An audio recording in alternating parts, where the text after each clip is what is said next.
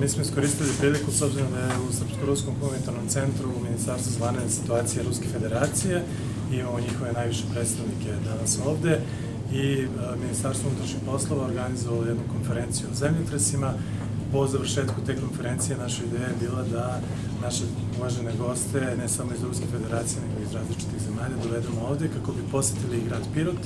i upoznali se sa bogatom kulturom ovog grada, na koji smo jako ponosni, ali isto tako i kompaniju Tigar, jer kompanija Tigar je naš saradnik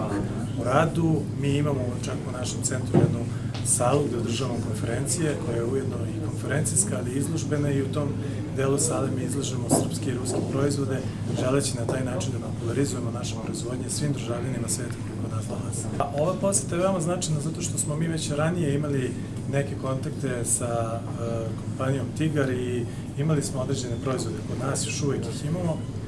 ali u planu je veliko uh, povećanje obuka koje će se održavati internacionalnih